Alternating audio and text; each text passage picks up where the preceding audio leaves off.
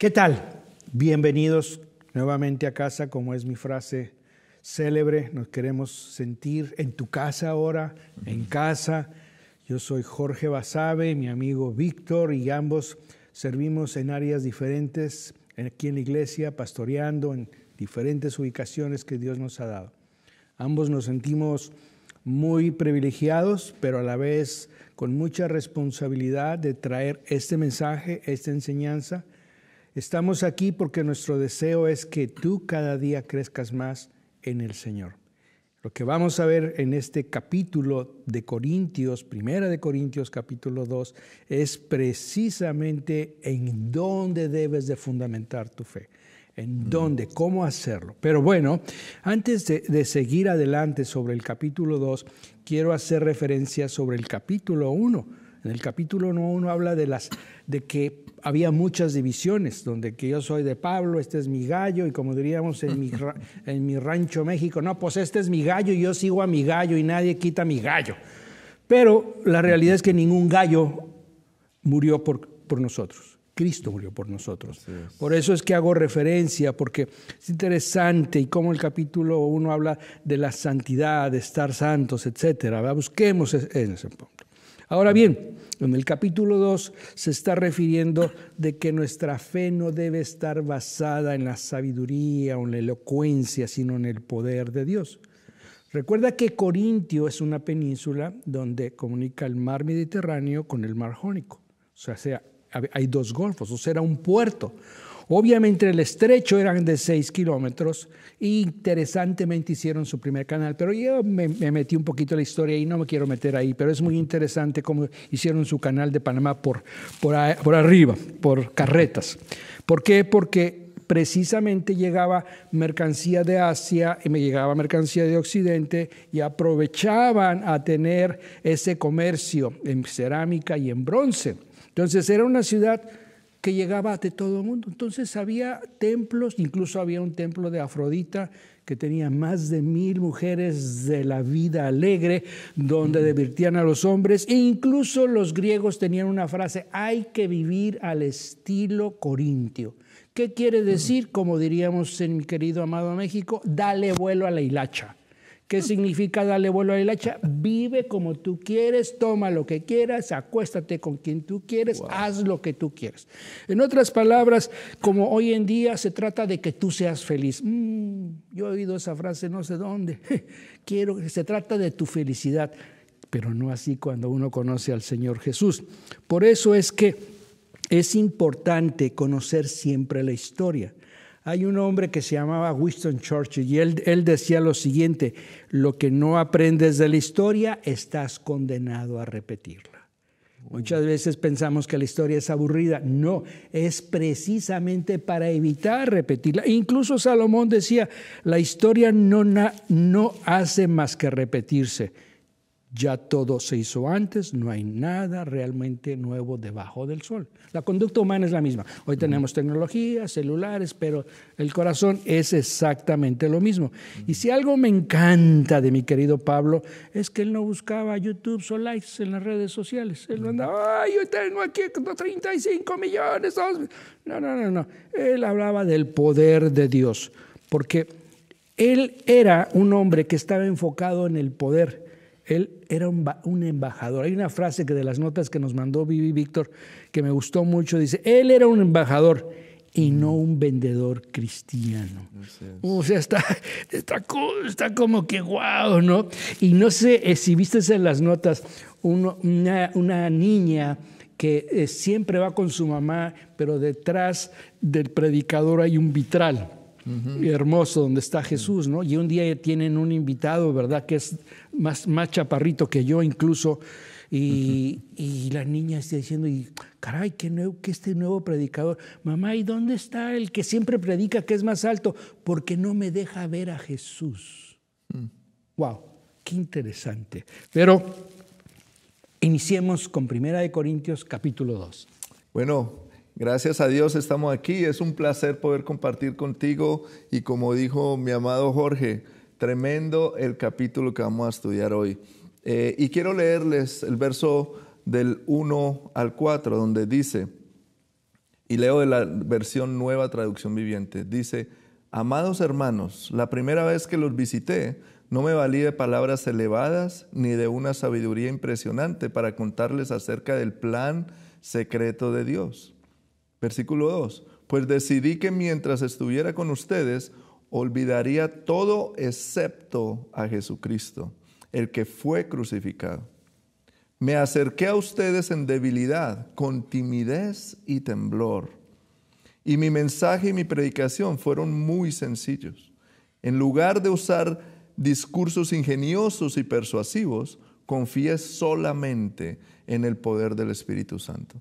Y esto nos trae mucha riqueza. Esta palabra que fue inspirada por Él nos trae mucha riqueza a nuestra vida hoy, así como lo ha sido por siglos. ¿Por qué? Eh, veamos un poco cómo fue la llegada de Pablo a Corinto. Esta, esta llegada de Pablo a Corinto se describe en Hechos 18 donde él conoció a una pareja que se llamaba Aquila y Priscila, una pareja cristianos también, quienes también hacían tiendas de campaña, el cual era el rubro al que Pablo también se, se dedicaba para sostenerse a sí mismo y para sostener sus misiones. Entonces se une con ellos, trabajan en el mismo rubro, a lo mejor viven juntos, comparten eh, lugares para poderse ayudar y esto hace que que, creen una relación cercana, una relación eh, de discipulado también y de apoyo a la vez. Y se cree que Pablo pudo estar en Corinto alrededor de un, poco más de un año y medio, ¿verdad? En su viaje misionero.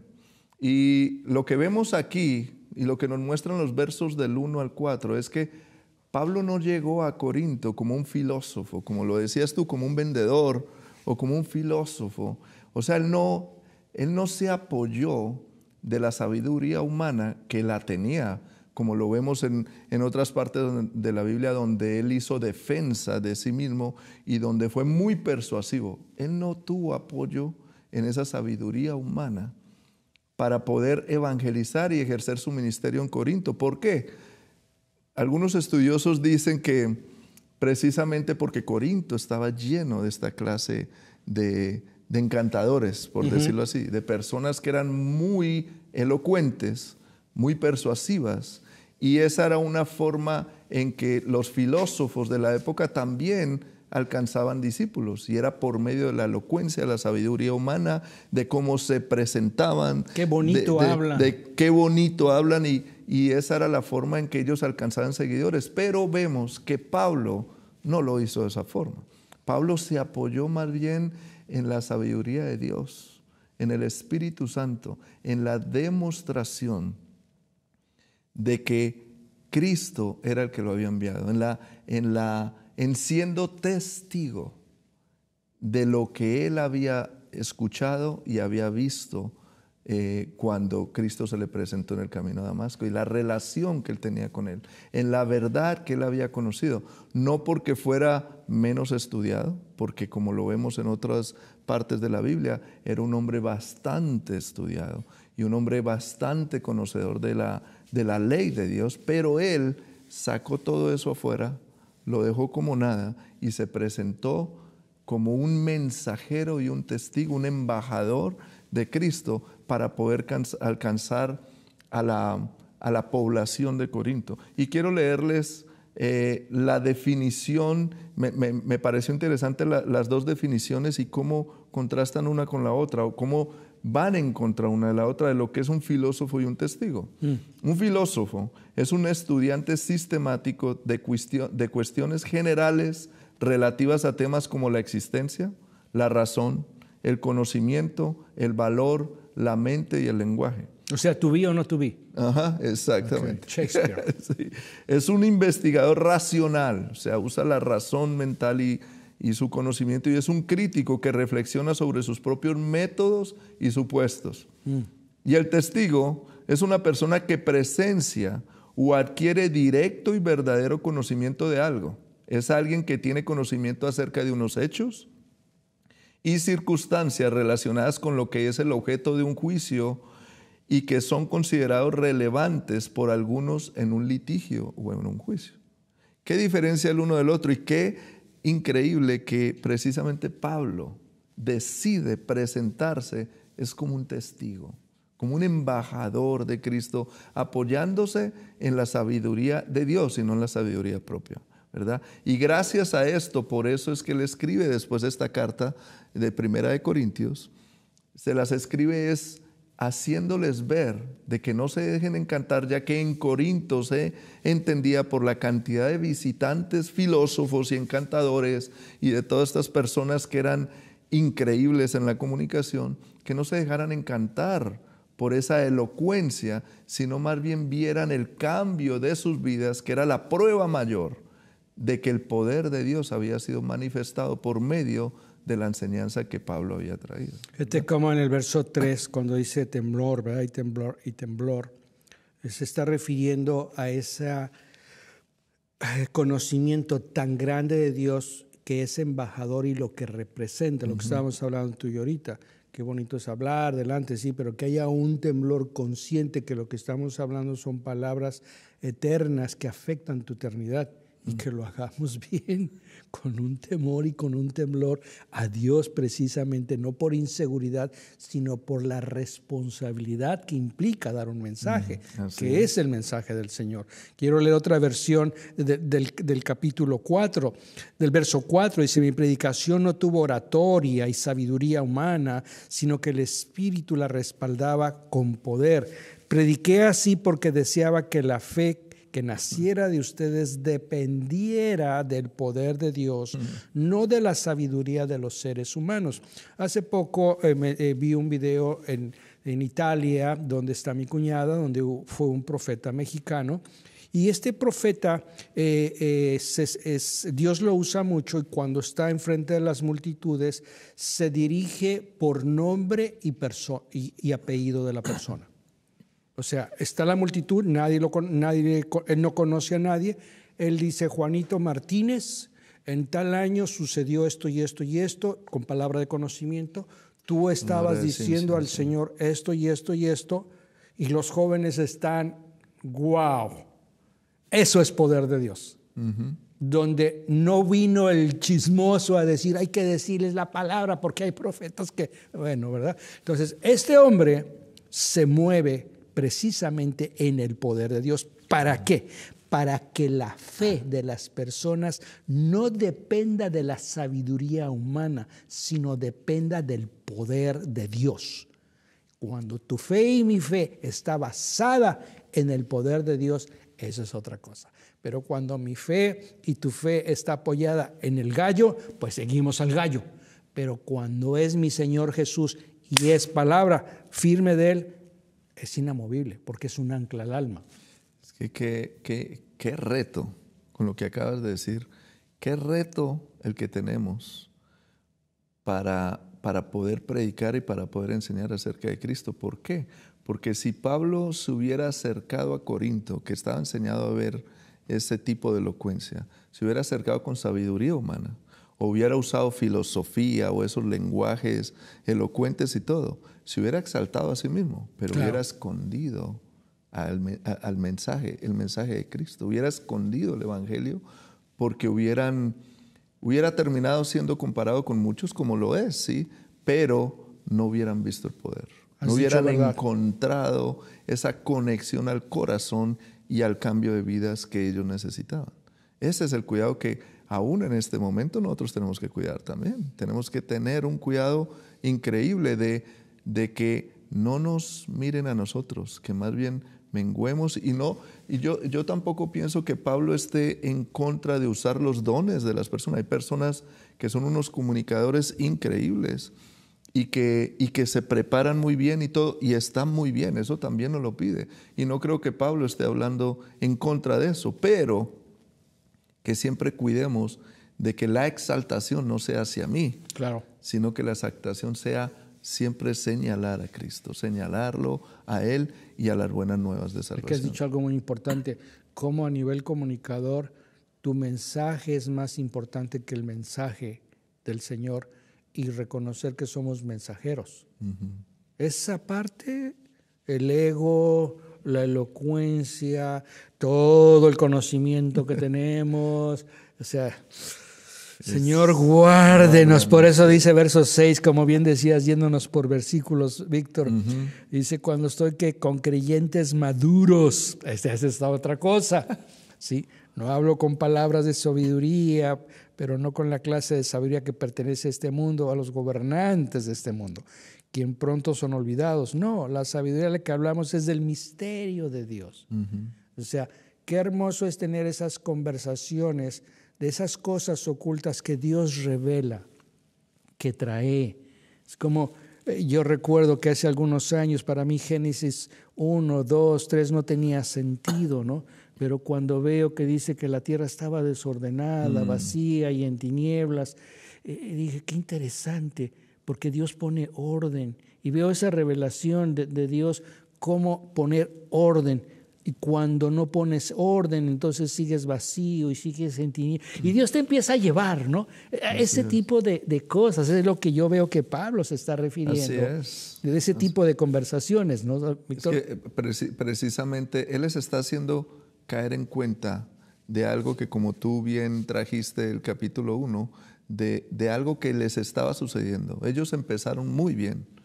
Corinto empezó muy bien, recibieron el mensaje de una forma espectacular, precisamente porque era el Espíritu Santo el que lo estaba haciendo. Pero pienso yo, es mi pensamiento, por la influencia de esos filósofos y de esos griegos que los visitaban y todo eso, empezaron ellos a, seguir más la elocuencia, más el, el, carácter del humano, del, del comunicador, más que el poder que realmente eh, mostraba el Espíritu Santo en la vida de ellos, en el cambio que ellos mismos tuvieron. Y eso los llevó a alejarse, ¿verdad? Entonces, ese es el peligro que hay cuando el comunicador no tiene ese cuidado mm. y se exalta o confía o se apoya demasiado en, en la sabiduría humana, en lo que es la elocuencia y esto, y entonces eh, las personas no terminan realmente convirtiéndose, porque las personas terminan admirando al personaje que está delante. Si su fe la apoyan y ponen la fe, y obviamente es un ser humano. Así es. Pero el que realmente produce el cambio y el que realmente llega a convertir el corazón del ser humano es el Espíritu Santo. definitivo, definitivo.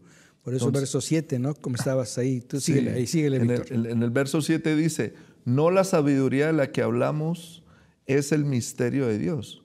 Su plan que antes estaba escondido, aunque Él lo, perdón, dice, no la sabiduría de la que hablamos es el misterio de Dios. Su plan que antes estaba escondido, aunque Él lo hizo para nuestra gloria final, aún antes que comenzara el mundo. Y el 8, pero los gobernantes de este mundo no lo entendieron. Si lo hubieran hecho, no, no habrían crucificado a nuestro glorioso Señor. Y el 9, a eso se refieren las escrituras cuando dicen, ningún ojo ha visto, ningún oído ha escuchado, ninguna mente ha imaginado lo que Dios tiene preparado para quienes lo aman.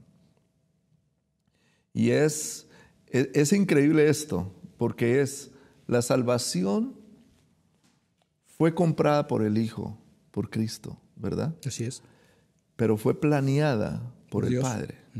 Fue planeada por el Padre. Entonces, los que hablan acerca de un evangelio y revelada por el Espíritu. y revelada por el Espíritu Santo. Ahí están los tres. Entonces, los que hablan acerca de un evangelio sencillo tienen razón, pero no tienen razón. O sea, ¿cómo, cómo, lo, lo, explico?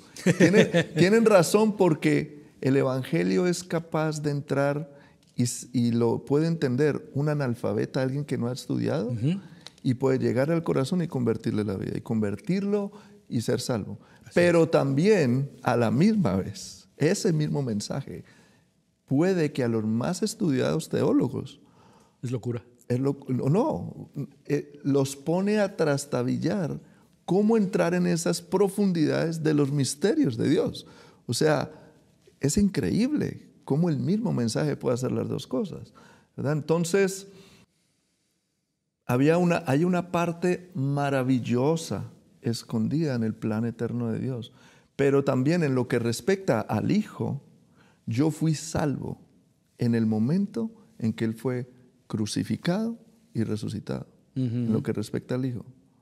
Pero con respecto a eso... Pero tuvo efecto cuando lo creíste. Exactamente, pero con respecto... ¿Por qué? ¿Por qué yo fui salvo en ese momento en que Él fue crucificado? Porque Él murió, dice la palabra de Dios, por todo el mundo. Él murió por todo el mundo. Pero a la vez misma, eso no es cierto, porque sabemos que no es para todo el mundo. Que son los que han sido predeterminados desde antes de los tiempos, ¿verdad? Pero a la vez también. La línea fina, ¿no? Aquí es donde entra, aquí es donde entra la acción del Espíritu Santo. Esa crucifixión y esa resurrección de Jesucristo para mí no es relevante y no aplica a mi vida hasta que el Espíritu Santo me lo revela en el año 1999, mm. en el mes de julio, cuando yo estaba por allá encerrado en un calabozo, en un lugar oscuro, apartado, y leyendo la Biblia, el Evangelio de Juan, cuando las palabras empiezan a saltar mm. de ahí y empiezo yo a ser revelado de esta verdad de salvación y tengo un encuentro con Cristo. Entonces ahí vemos los Porque tu poquita fe la depositaste precisamente en ese poder y es donde toma, toma vida, ¿no? Entonces, hasta ese día, para mí es relevante y yo soy salvo ese día, ¿verdad? Pero si lo vemos, para el Padre, desde antes de los tiempos, desde antes de la, de la creación. Para el Hijo, desde el mismo momento que fue crucificado. Pero para el Espíritu Santo, desde el momento en que Él me contactó, me abrazó y me reveló la verdad. Se cumple lo que está en el verso 9, ¿no? Ningún ojo ha visto, ningún oído ha escuchado, ninguna mente ha imaginado lo que Dios tiene preparado para quienes lo aman. O sea, dentro de ti había esa esperanza de amor y cómo se revela. O sea, cada quien tiene una historia. Así es. Cada quien tiene una historia. Y es personal porque somos individuos, no somos masa. Y ahí es lo interesante, que Dios es padre de individuos. Y cómo trabaja para cada uno. O sea, esos son los misterios de los que hablamos. A mí eso me vuelve la cabeza. Esa es una de las a mí me quitó el pelo. que yo Esa es una de las cosas que yo digo, ¿cómo? O sea, ¿cómo entender ese misterio de Dios? Pero para cada uno es diferente, como nuestra huella digital, pero para cada uno trabaja y para cada uno funciona, siempre y cuando estemos dispuestos a abrir el corazón, a que el Espíritu de Dios nos lo revele y a ser abrazados. Por él y o sea, estás concluyendo el verso 10, pero fue a ti a quien Dios reveló las cosas por medio de su espíritu. O sea, lo estoy personalizando, ¿no? O sea, fue, se te reveló por medio del espíritu, pues su espíritu investiga todo a fondo y nos muestra los secretos de Dios. Nadie puede conocer los pensamientos de una persona, excepto su propio espíritu, como nadie puede conocer los pensamientos de Dios, sino el espíritu. Así es. Nosotros hemos recibido el espíritu de Dios, no del mundo, de manera que podemos conocer las cosas maravillosas que Dios nos ha regalado. Eso es lo que tú estás diciendo, lo estás resumiendo eh, en, tu, mi propia experiencia. En, tu, propia vivencia. Wow. Increíble, es que es increíble. Solo eso es para volarnos la cabeza. ¿Cómo, ¿Cómo Dios encierra algo tan grande y lo hace sencillo para poderlo entender por una mente tan pequeña? Y es lo que dice, para el sencillo sencillo y para el complicado no lo entiendo. Y ahí es cuando Dios dice, yo llamo a los que son nada para convertirlos en algo. Y como el que es algo se tiene que humillar para poder ser alguien. Y aún creciendo en esto, aún a medida que nosotros vamos creciendo, de pronto cuestionamos más. Pero, ¿cómo tener cuidado de no perder esa, decirlo, ¿cómo decirlo? Esa inocencia de saber que precisamente por eso es Dios y que Él lo sabe todo, pero cómo uno perde, no perder uno esa conexión, esa admiración de decir, wow, en vez de la cuestión de, ¿y cómo va a ser eso? ¿Cómo yo puedo creer eso? No, es wow, es increíble. Ese grado de admiración, ¿no? de, seguir admirando al Padre. me, gusta lo que dices porque eh, eh, eh, este va a ser prácticamente llegas al, verso 13, ¿no? Les decimos estas cosas sin emplear palabras que provienen de la sabiduría humana. En cambio, hablamos con palabras que el Espíritu te da usando las palabras del Espíritu para explicar las verdades espirituales. O sea, es ahorita lo que estás mencionando. ¿Cómo explico esto? Mantener esa sencillez. Yo creo que es en la medida que estamos conectados con el Señor, conectados con su Espíritu Santo, conectados con sus palabras, con su palabra y tener una actitud humilde de ser enseñable. Así es, es que ser enseñable. Definitivamente. Dice, dice el 14, dice, pero los que no son espirituales no pueden recibir esas verdades de parte del Espíritu de Dios. Todo les suena ridículo y no pueden entenderlo, porque solo los que son espirituales pueden entender lo que el Espíritu quiere decir. Y el 15, los que son espirituales pueden evaluar todas las cosas, pero ellos mismos no pueden ser evaluados por otros. Pues, ¿quién puede conocer los pensamientos del Señor? ¿Y quién sabe lo suficiente para enseñarle a Él? Pero nosotros entendemos estas cosas porque tenemos la mente de Cristo. O sea, es, aquí hay un misterio increíble. Porque, porque Nos falta tiempo, Víctor. Sí, y, te lo digo porque eh, lo que nos está diciendo aquí es que el espíritu de nosotros sabe lo que hay dentro de nosotros, lo que hay en nuestro corazón, los pensamientos que nosotros a lo mejor entretenemos, eh, las cosas que vivimos, todo eso, el Espíritu de Dios, el Espíritu nuestro lo sabe y nos lo hace ver, y nos lo revela. Pero cuando nosotros llegamos a esa conexión con Dios, tenemos al Espíritu de Dios en nosotros. Cuando llegamos a ser salvos, a recibirlo, a abrir el corazón con Él, tenemos el camino abierto para acceder al Espíritu de Dios. ¿Y quién más no sabe las cosas y los misterios de Dios, así como mi Espíritu sabe mis cosas y mis misterios? ¿Quién más mejor para revelarnos las cosas del Padre? ¿Quién mejor para enseñarnos qué es lo que realmente hay en el corazón de Dios? Para que nos lo revele, sino el Espíritu de Dios que, según la palabra de Dios, habita en nosotros y tenemos acceso siempre y cuando nosotros busquemos acceder, busquemos entender, preguntemos y tengamos esa humildad de decir, ¿qué es esto? Mm. Quiero aprender, mm. quiero saberlo. ¿Cómo llego a entenderlo? Y el Espíritu de Dios, así como nuestro Espíritu sabe todas las cosas, el Espíritu de Dios que sabe todas las cosas de Dios, nos lleva a ese punto de conexión y de revelación para que nosotros podamos también entenderlo. Es como cuando dice la gente, es que soy muy espiritual, ¿no? Sí, pero no, no antepones una reverencia a Dios, no un temor. Puede ser espiritual en otras cosas, Así pero no significa que puede comprender ese amor tan grande y que no necesita hacer nada para poder recibir el amor, sino solo el creer recibir ese perdón que fue dado en la cruz en Cristo y ser una nueva criatura, ¿no? O sea, despojarse de, esa naturaleza eh, de Corintio, porque incluso en el libro de Corintios, en el segundo, vuelven otra vez, se ve una situación ahí, ¿verdad? Que bueno, no me quiero adelantar, ya lo, ya lo verán, cómo esa naturaleza de pecado volvió a repetirse, pero también se ve la gracia. Pero es que eso nos lleva a otro misterio. Y el misterio es, sabemos que el Espíritu de Dios habita en los creyentes. Como lo hablaba ahorita, sabemos que tenemos ese acceso a ellos, a, toda esa sabiduría y esos misterios de Dios, ¿verdad? Pero cómo esto también nos revela que no es para todos, es para el que realmente quiere crecer, porque el mismo Pablo lo dice. Claro. Él, lo dice en, el anterior capítulo, dice, quise venir a ustedes dándoles de comer grueso, o sea, dándoles sabiduría de Dios ahora sí bien, como maduros, pero no puedo. Les tengo que dar leche porque ustedes no están ahí todavía y no lo entienden. Entonces, ¿cómo este misterio del que hablábamos, cómo este misterio del que hablábamos, no es para todos tampoco?